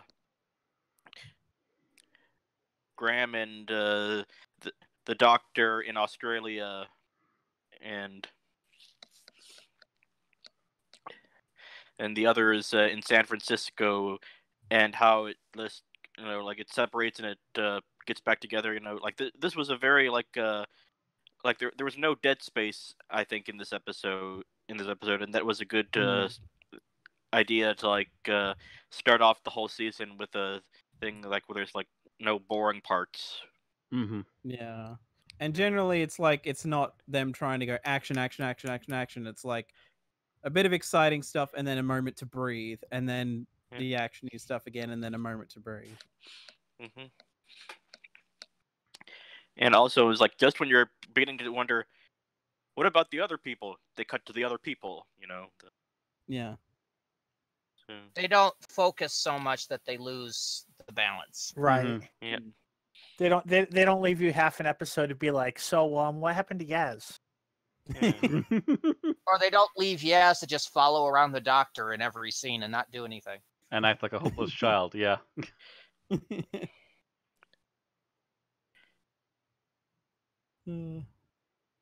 Okay, so what did I like about this? I think what I liked about this is the feeling of uh, over over the top epicness, something that we haven't really felt out of Doctor Who since I think uh, um I want to say um probably series 9 no, I would say probably the end of series 10 is the last time we felt like the episode was a truly epic moment. hmm Hmm. Um but usually this is a kind of epic that we see in series finales. And usually there's some build up momentum to it, so that part I'm a bit worried about whether the whether he's going to be able to follow through on this or whether he's blowing his whole load right here in the beginning of the series and And the rest of the season, so suddenly tumbles downhill. Yeah, that's a worry. yeah. Yeah. Um, but yeah, because this has a series, fin- a uh, season finale, like we saw in like Stolen Earth, Journey's End, or we saw in like, um, Army of Ghosts, Doomsday. Hmm. Um, it has that feeling of you know, big buildup, and especially with the master reveal at the end, it's just like whoa. Yeah. It's not often that they start the series on a two-parter. Last time they did that was series 6 I think. Uh, didn't one of wasn't um uh was like Wizard's Apprentice, which is familiar, a start of Oh, the yes, that was one? that was actually yeah. a fairly recent one. That's right. Yeah. Yeah. That was that was a good one. Um trying to remember what season that was. Wasn't that that, was eight? that was the beginning that was 9 no, I think. Eight or it would have nine, been nine, yeah. I believe. Because eight was the Yeah. season of Danny Pink. Uh, Yeah, that would have that would have been the beginning of series 9, which was one of our one of one of Moffat's better seasons. yes. Mm. It had only one major failing and that was the freaking Mark Gatiss episode Sleep No More. Um, whereas um, the most, the rest, and some people didn't like the very final episode because it kind of took the build up from the previous one and went sideways with it. Um, but still, Um, so I will tack on that the thing that I was going to say but left out just in case someone else wanted to say it is my god for possibly the first time in Doctor Who history they actually made three companions work. Right? no, not for Well, the not the first first I mean, like not like the first time, but mm. at the very least, to me, it's like, oh my god, they actually, at least in New, I mean, it's the only time they really done it in New Who, but still, like this to me was like, holy shit, they actually made three No, they- companions work in one episode. they made three companions work Yep. once before in New Who, Hmm. and that was the uh, in series one when they had Rose, Jack, and Mickey all in Cardiff. True. Uh, don't for, don't forget Journey's End. That was more than three.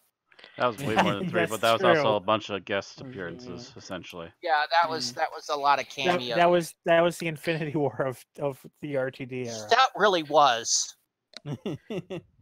That was your Infinity War, Justice League, whatever you want to call it. That was your Mm. epic team up of epic team ups because that was three shows coming together for the Oh, Doctor shit, Who. For that matter, that was that was somebody trying to destroy all universes with an antimatter ray. That was Crisis on Infinite Earths. Yes, it was.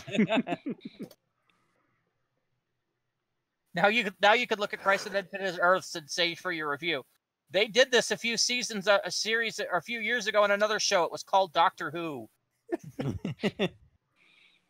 It was called Journey's End.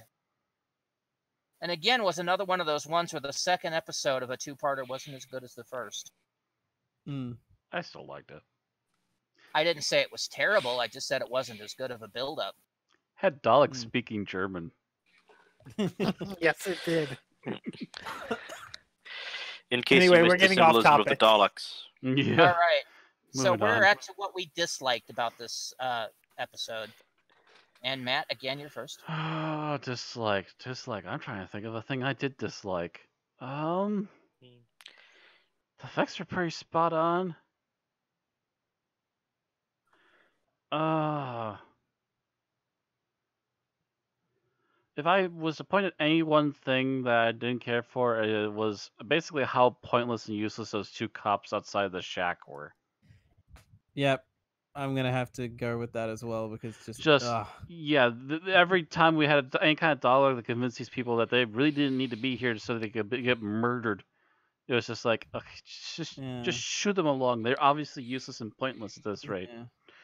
Plus, to be honest, their acting was the only like acting weak point I would argue of this entire. I didn't even worry about their acting so much as the fact that they were just really frivolous characters, and Mm. it's just, uh, But their acting Well, was pretty G-Man standard. So Somebody needed to shoot Mhm. the aliens. you mean shoot at the aliens and do nothing? See, Just to that's- prove that it doesn't do anything. You see, the thing is, you're talking about them like that, and I pretty much saw them, and I just visually imagined the red shirt on them. Well, that's basically what they were. As soon as I saw them, that's what I knew that they were. It's just like, Yeah. oh, these poor I I suckers. was like, they're, they're, they're, they're, they're the men that the Brigadier tells five rounds rapid to. Yeah, pretty much. Except that at least that the could- Brigadier's men would actually run and hide and when the- th- things the went problem tits is, up. there's no more brigadier because there's no more unit. And these people aren't as well trained as unit soldiers. and I guess at the same time, they could also very easily be brainwashed because it's the master. actually, they might not have been real. we- For all we know, we don't know what happened here at the end. Everything just went sideways. um, Yeah. Although I will also admit, I was I was kind of iffy on one of their accents, and then I realized, then I looked the actors up. Oh, one or both were South African, not Australian. So Oh. that's why their accents sounded off to me. That makes sense.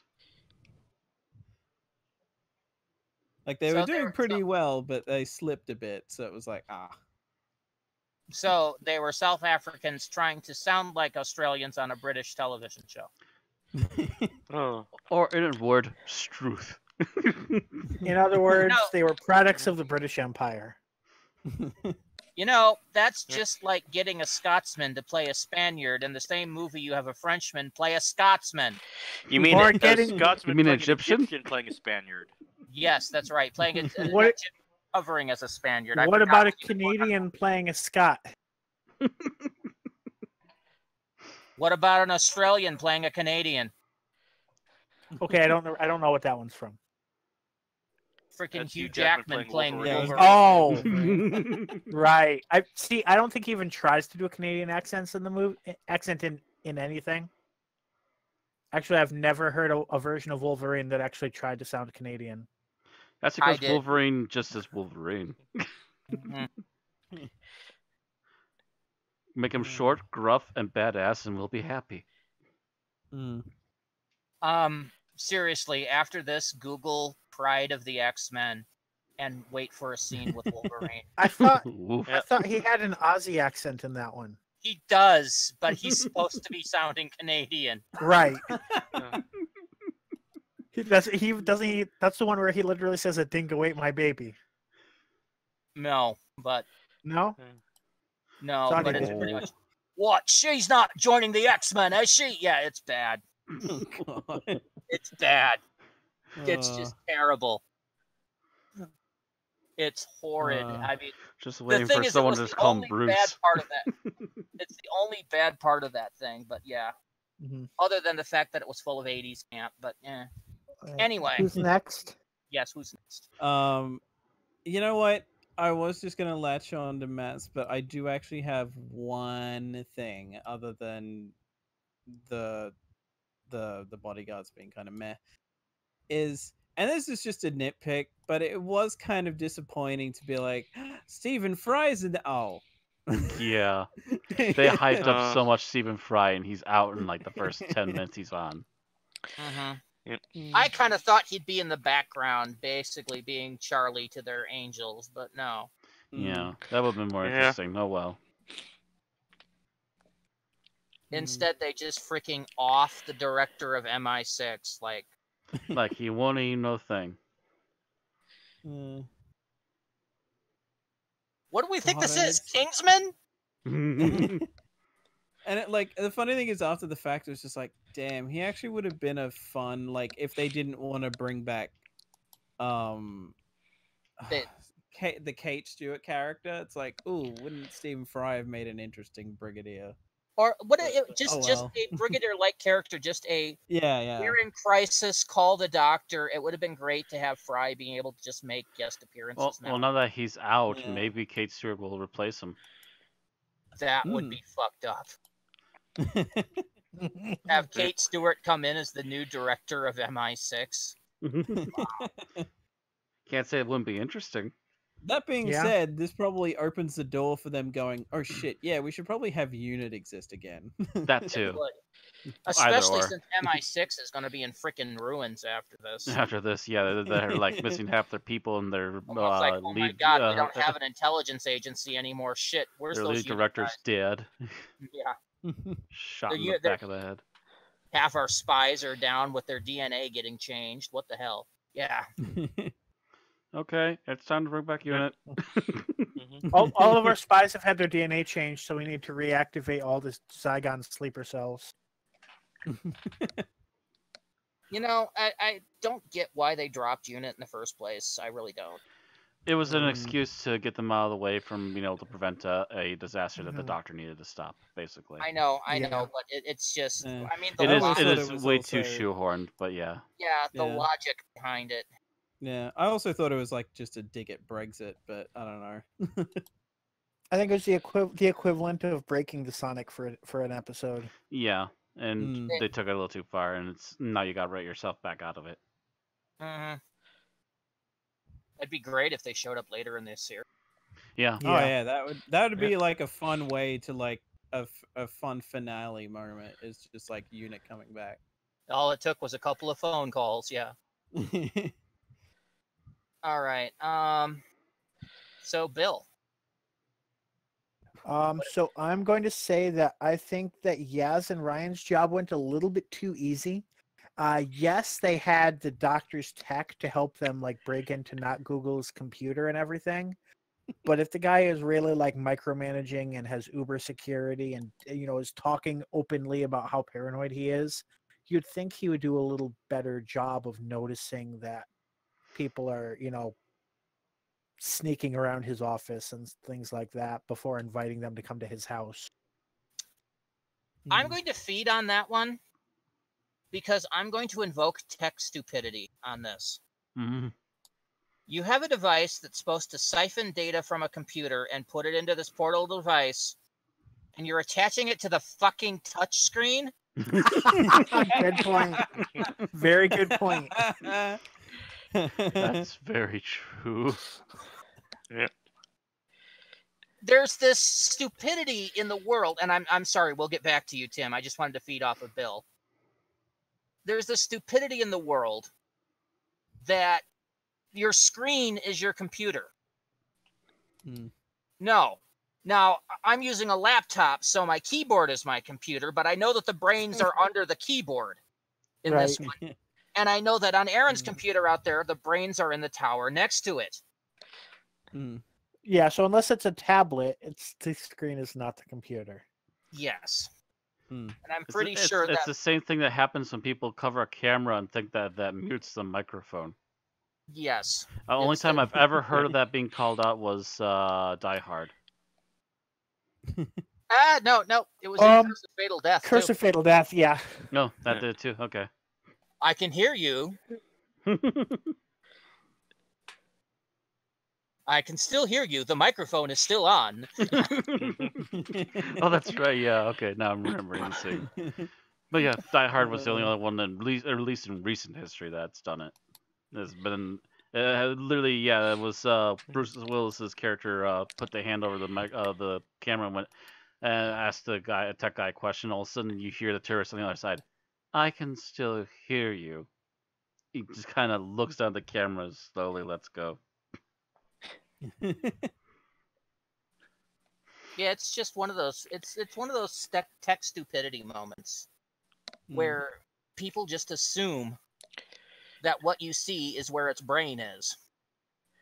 Because in humans, where we see from is where our brain is. Ah. Although That's I like think, I never think there's a fair- understood. Um, I never ever understood robots um, that you kill with a headshot. Yeah, especially you know, I remember somebody ta- a robot talking about its brain being where its tushy should be. That might have been in a Hitchhiker's thing. I Yeah. can I can understand it with certain robots, especially if it's like a human controlled mecha or something. But even then, that's a weak spot. That when it's been exploited, they usually come back and go, "Aha, we have an answer for this." Hmm. All right, so Tim, I'm gonna sort of piggyback off of Thomas, and uh, my problem with the Stephen Fry was not only that it was too like he was one and done, but when he was on screen, he wasn't Stephen Fry enough. I don't know. I thought he was perfect. Hmm. I think he was No, perfect for the role, but I I understand where Tim's coming from too, where he didn't really Stephen Fry it up. But at the same time, Well- I'm not sure that's what I want Mm. in that role either. I, I don't mm. know. were- Were you expecting Hmm. them to invite them onto a panel on QI? Mm. Maybe cuss a bit more. I don't know. No, I guess that's just it. He was going for more of a like original Brigadier type of vibe than anything mm. else. Me, just not, not like not as like Bri- like a bit toned down in comparison, but still, it's like pompous British dude. All right. No. So, favorite scene, Matt. Favorite scene? Oh goodness, which one do I want to go with? Um, there's actually a lot of really good ones. Uh, you know what? Heck with it. I'm gonna say I really enjoyed that bike chase scene. Literally, the guy takes off in a car. They're like, "What are we gonna do?" The doctor looks over and goes, "Remember that time we went biking?" and next thing you know, they're all three borrowing the that same guy's bikes, uh, and just racing after him as fast as they can. Not Hey, even, uh, not now- uh, and, and uh, just basically ducking and weaving as the guy is shooting at them while they're still unarmed, hmm Hmm. because that's the doctor way. Yeah.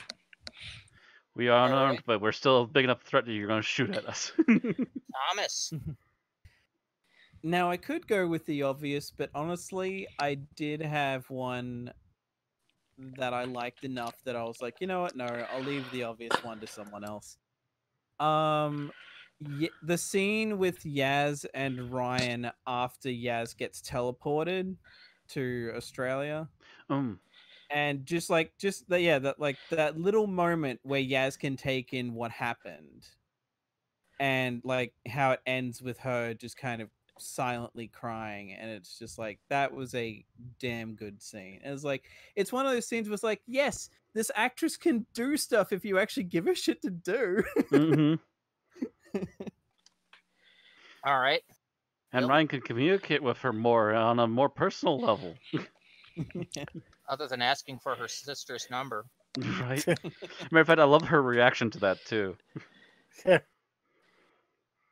Um, so I'm going to say for my favorite scene, the scene where Ryan and Yaz walk into not Google headquarters, and Yaz is being, you know, like doing everything she's supposed to, and like, you know, taking control of the situation, and Ryan's just like, um, yeah, I'm Logan. I'm Logan. Um, I'm not nervous. I'm Logan. I'm Logan. And she's just like, yeah, he's he's an idiot. He's with me. The Don't worry, he won't be talking much. He's just here to take pictures. Yeah. All right, Tim. Well, my favorite scene is uh, the doctor working on the TARDIS at an auto shop with it up on the. Uh, I don't know what that thing is called. The lift. Lift. The lift. That's Mhm. it. It's called a lift. It Yep. lifts things, so it's called a lift. How unimaginable is that? Well, anyway, uh, it, it, it, it, it just like raises so many questions, or not raises questions, but like inspires imagination. Because, like, clearly uh, the people who run this shop are like unfazed by this person working on a police box. if So, you, yeah, if like- you're talking about the location, I think that's the same garage where the guy got killed at the beginning of last season. Oh, I was wondering that too. It's 'Cause it like kind of looks like it was might have been, but I wasn't sure. thing. That's what I was assuming. Mm-hmm. Hmm. It's just an abandoned place that's probably still paid for that they just happen to know about. So it's a good place to meet up. Either that or, you know, the doctor's hacked an ownership of it now. That's a possibility too. That's technically her little hideaway. That Hmm. she works on the TARDIS while they're doing their real life stuff. but it's just such an amusing image. I think I love it. All right, so my favorite scene is them meeting M for the first time and him assuming the do- that Graham is the doctor because it's that kind of stuff I've been expecting since basically the beginning of Jodie Whittaker's run yeah. because the doctor has this established history Mm. of it being, you know, A guy, a usually man, older. Yeah. man Mm. from, you know, ranging from late 20s to 60s Mm. and basically fitting Graham's general description Mhm. that people would automatically assume he being the eldest there he's the doctor and the others are the companions yeah. so, Um, so they and i swear to god stephen fry did it right because he just he didn't he assumed and just started addressing straight to graham yeah, and they Mhm. don't make a big deal. It's like, well, of course the doctor would be a man. It's not that. It's just like, well, the intel we have says the doctor is a man, so of course I'm going to assume that. And then Mhm. Jodie's just like, uh, actually, and then they just run with it yeah yeah, Then he's just like, "Oh, There's- sorry, wrong there's information." just then there's, there's just it's an confused. uncomfortable moment and continues yeah yeah. it was just perfect i was just like that's beautiful Mm. All right so least favorite scene Oh gosh. Um I don't know. Actually Um I'm going to go with um Yaz and Ryan uh hiding inside the not Google's uh facility. Because wouldn't they have had cameras everywhere, and wouldn't the paranoid guy who runs Not Google have noticed them a lot Mhm. sooner?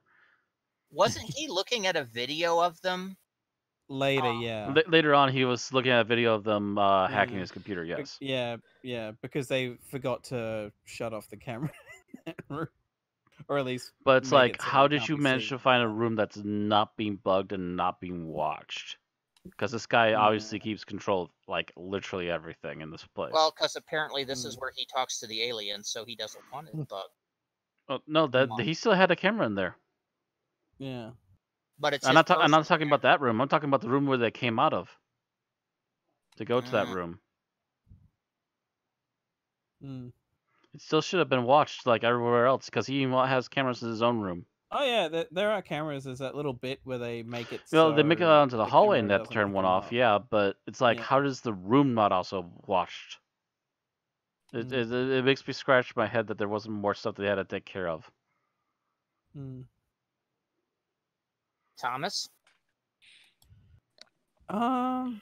Oh. God. Um.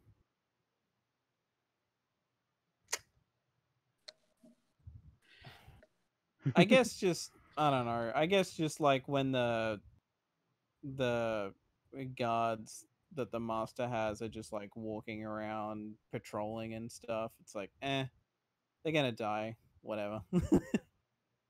it's like that's about all I've got. All right. Bill. So, I, this is like kind of subjective and personal, but I'm going to go with the fact where they're like, "Oh, I know exactly who the right person to call is. I have their number on my text." I'm like, "Oh, is it Jack Harkness? Is it another character that we know and love?" No, it's some guy that we've never heard of. Sends a picture of a fish, and I don't like it. it you- you're the the anticipation rises and then it just falls like ah it's Yeah. nobody we've ever seen before Mhm. And my first instinct was that it was the fish. Oh, it was Jim the Fish. I, I kind of thought the location was a fish like they lived it they were in like an underwater base or something My initial thought was, "Oh my God, you just managed to get a text guy from somebody who was drowned." He's like oh i'm dying right now here's my location Oh, I've been fitted with concrete shoes and sent to sleep with the fishes. This is an automatic response. but by mi6 this is the retirement package Oof. Rough Hard. job. Rule one of MI6: you don't resign from MI6. Nobody leaves the World Wrestling Federation. we, we don't we don't have neuralizers here All right, Tim. Okay. So least favorite scene. I'm trying having a hard time trying to come up with like one scene that I didn't really dislike. Uh s- I think I'll have to pass. All right. All right. So my least favorite scene is the doctor uh basically confronting the CEO about all of this because she's um basically blunt. She yeah, just she's she's a little too much so, yes. and she You know, also didn't like. You know what would have actually been a good move for her is if she would have actually pulled out psychic paper or something and went like, "Yeah, MI6, by the way." I mean, the fact is that you know the doctor usually has some kind of subtlety. Or at least Yeah. something that would grab their attention and actually make them open up. Mm-hmm. Instead, she's just like, "I know you're doing this. Why are you doing this?" And it's just like, really? Mm. He's holding all the cards, and you're just trying to pry them out of his hand. Yeah, that doesn't work very well, and that's why he takes off. Yep. That was I just kind of have I- ish, and I think that's the second time I've seen Jodie Whittaker do that. And I'm like, i'm trying Yeah. to think what what the if if the how what the previous three doctors would have done any differently Psychic other than maybe like having a piece of alien usually they get a little bit of proof first. Hmm. Yeah, They either some wait- sort of proof or psy- psychic paper or something of the like, or maybe even a real official badge that just goes, "Yeah, I'm MI6, Yeah. by the way."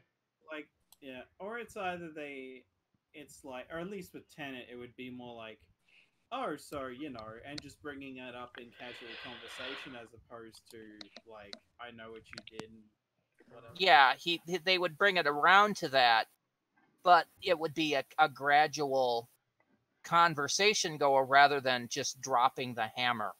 Mm-hmm. She completely and totally lacks tact. Yep. I was just actually just thinking that. Mm. i mean to be fair that does seem to be a trait of Mhm. her doctor so Mm. Yeah, Where did all hopefully she gets over that a little bit. Where did all the tact go? Tennant had loads of tact. Smith had a decent amount of tact, When he wanted. sometime on and off, but yes. Capaldi, eh, has it just been losing tact with every regeneration? God, that means next we're gonna. When told. when you get a new regeneration cycle, you have to earn your tact back oh, later. maybe, yeah, I was gonna say maybe it's just a blonde doctor thing. Oh. Oh! oh! Oof. I mean, Although I am worried that the next regeneration is going to come out, me, Doctor Eugene. Oh I mean- dear. God. I mean that said, remember, um, Tennant originally was, "Oh, I'm rude and not ginger," so He, he didn't exactly start less off with tact. Yeah, He got Mhm. gradually less rude, but he was still very good at, at talking to the villain and, you know, Getting something out of them, yeah. yeah. who are you? I don't know. And then he went on on a babble rant. About the All Lion right. King. All right, so let's talk about our final thoughts about this episode before we uh, close it out. Matt, uh, so final thoughts. Is what Yeah. we're technically doing. All right. Um, well, uh, they're they're going to be our semi-final thoughts. yeah, 'cause semi-final thoughts as it we will stands probably right now. talk. Yeah, we'll probably talk about this episode again next week as it relates to the the 2nd Mhm. part. If if you if you have predictions, I'd probably include them in the final thoughts. I'm gonna I'm, I'm gonna include that uh, instead of ratings. Oh, Okay. Mm, Gotcha. aw. Um, so final thoughts on it currently standing. Uh, this has been a really interesting episode. Nice bit of action, no boring lulls. Um, lots of good information when we needed it as quickly as possible, and out the door we go. Um, nice little nods here and there to essentially the James Bond themes they were borrowing for a good portion of this episode, and a very interesting end twist, I think. So I like to see where they're going to go with this now. all right. Thomas, I was like, God, you know, I've been stewing in my hatred of the Rise of Skywalker for two weeks, and then this episode comes along, and I'm like, oh, thank you, Chibnall, you actually did a good Doctor Who episode. I mean, you know, he's he's done previous episodes that were like Okay. good to okay, Mhm. and then Power of Three I fucking hate, but you know, it's like, oh my god, Chibnall, you you actually did it like a. I mean, you know, I don't. Hmm. It is curious. I would want to go back and see. Is this like, uh, as far as the Chibnall scale goes, is this Countrycide good, or is this just better than most of his Doctor Who work good? I'm not sure it's on the level of Countrycide yet. We might have to wait till the end of the next episode to find out. Yeah, I don't know. It, it definitely doesn't hit the level of creepy. It doesn't hit the same creepy level, but it might still hit the Yeah. same good quality level, though. Yeah. We'll have to wait and see, though. Yeah, It's one of those ones where yeah, it is one of those ones where I I am I wanted to as soon as I finished watching this, I wanted to immediately watch it again. And I can tell you that I have not had that sensation for a Doctor Who episode in quite some time. so that is like holy crap. Um it's it's one of those things where it's just a fear of is this going to be when part two comes out, is this going to be one of those typical New Who situations where even if the second part isn't crap, it's just like an amazing setup and then a subpar to okay to crap um payoff. And it's just like, oh, I just I just hope they can stick the landing. All right. Is that everything you have to say, Uh yep. Bill? All right. Uh, so this episode, it was a semi-parody episode. They followed a formula. They followed the formula very well. It was a successful formula. Um, I haven't watched a lot of spy movies, but I think all of the beats that they hit are ones that I was familiar with. So they, again, they followed the formula. of course, they added in that bit of Doctor Who that James Bond or Mission Impossible, etc., would not have had. Um, and I think they did that successfully. They didn't botch it. Um, hmm And they so made it a make sense first- inside of a spy realm too. Yes. Um, so it's a good first parter. Um, of course, the twist at the end um, kind of upends everything. So they're following along with, um, I think this was mainly Moffat's thing of when you have a two parter, make sure that the second part is radically different from the first part. Um, Which it might be. so this, this is very clearly because we know that next episode's going to involve travel to the past. Um, so I'm curious to see how they how they continue making it worthy of having that Spyfall title, despite being a uh, a time travel or historical or both episode, and how that's going to involve the aliens. Um, but I think they've done a serviceable part for the first part. Uh, first part, it was entertaining. It kept people's interest um, and there's no real reason to complain or to not watch the next episode. I'm sorry, you just mentioned travel to the past, and all of a sudden the Samurai Jack theme started in my brain. Back to the past samurai. Yeah. Yeah. All right, Tim. Timothy. Sorry, sorry, I Uh, accidentally okay. muted my microphone. That's all right. Welcome back. Uh, anyway, I was so glad to finally be reunited with uh, the Doctor after what seems like forever, and uh, this episode really hit the ground running. Uh, I'm uh, be interested into knowing like more about uh, this current master's backstory and uh, where this master fits in the master timeline. But uh, that was a shocking reveal. I, as soon as he said, "I told you, you learn how to, you should ask who the spy master is." My first thought was, "Oh man, I should have picked up on that." It, uh, bad Tim. Anyway, no, I, I uh, think we all didn't pick it up until he said it, and then we're just Yeah. like, "Oh shit!" yeah. hmm Yeah. But uh, okay, he- here's my prediction for the next episode. It will be revealed that that sort of in between worlds that uh, Yaz and the Doctor Um. ended up on at both points is actually the Master's scalp. like th- th- they were shrunk down, and and and, and those two black things are, are his hair. So what? So what you're saying is that the Doctor is going to wind up saving everything with a giant bottle of Selsun Blue. Yes. We're also gonna find out the master has lice. That would be the aliens, wouldn't it? yep. Ah, Yes. okay. Don't mess with Gallifreyan lice, man. Ooh. So, if you remember my reviews for Series 11, there was a lot of times I'm like, well, you know, I can't find any fault with this episode, but it seems to be missing something. And I didn't want to give it a perfect because it was missing something. You guys And- remember that? It it happened to us a couple times, and we always need to digest it a little bit. Yeah. This had what those episodes were missing. Mm-hmm.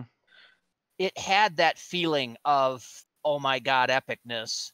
It just kept you riveted to the screen the entire time. And you're just, you know, going, oh, and then the reveal hit, and you're just like, oh my God. Yeah, you're, it's just, this episode was well acted, well written, well directed. All the special effects were in the right place. You didn't lose interest at any point, and at no point did the characters piss you off. Yes. So this is a technically perfect episode, except we've only seen half of it. Mm-hmm. Mhm. We've just got to ho- hope this is definitely the start of the Chibnall redemption arc. I hope so. And I hope it lasts all season. All right, predictions, Matt. Oh, I do pray Johnny? for that Chibnall redemption arc. Uh, predictions. Um, I'm gonna predict that they're in some either another dimension or another uh, or a like a kind of like a hologram suite or something, is where they've really been all this time. somehow the master abducted them. Um, also, my uh, another prediction I have because it did pop up during the episode is uh, some of that alien coding that they were trying to figure out. So they started you showing multiple Earths. I'm willing to wager that whatever the master is planning has something to do with multiple Earths in different dimensions. All right. No, so. Rose and David Tennant are going to show up. Maybe. And and basically Doubtful, collectively maybe. kick the master in the dick. Why do they keep kicking me in the dick? Why? All right. Uh, and then we get another master of dog bumps. Um, it came up before, but I it, it would not surprise me if this does go back to the um generally classic Kuru, but specifically the uh Delgado era type deal where the master thinks he has control over these aliens, but then it kind of bites him in the ass, and he has to be like reluctantly Helping the doctor? hel- yeah, reluctantly helping the doctor to save his own ass, and then just manages to piss off um, before they can do anything, before they can grab him. Or g- Or gets maybe- grabbed, or he- or gets grabbed and escapes later. Yeah. Which again, as I said before, that would be an inter- like would be an interesting way if he did if he did get captured and held. That would be an interesting thing for whatever the Judoon episode is, of like the Judoon coming after the Master for some reason. Maybe. Wouldn't surprise me. Right. I'm sure he's done something that's pissed off the Shadow Proclamation. Even if they are still working for the Shadow Proclamation, there's nothing to say they are. Right. True. Mm. We Either haven't heard the word Shadow Proclamation since the Russell Uh, T Davies. yeah, era. technically they are space Oh wait, no, we cops. learned them a bit in Moffat. Yeah. Yeah. Well, technically they are space cops, so they could be there for Well, multiple they're- reasons either way. They're they're mercenaries, so the Shadow Proclamation Yeah. hires them as their army, but other They're they're do as well. basically rent a cops, so to Yeah, speak. rent a cops. They're they're ogrons with armor and horn. Yep. Apparently, uh, they they released those guys into the into the uh, London Underground as a promo thing earlier this month, and just absolutely had people gobsmacked by how good their the prosthetics on those guys are.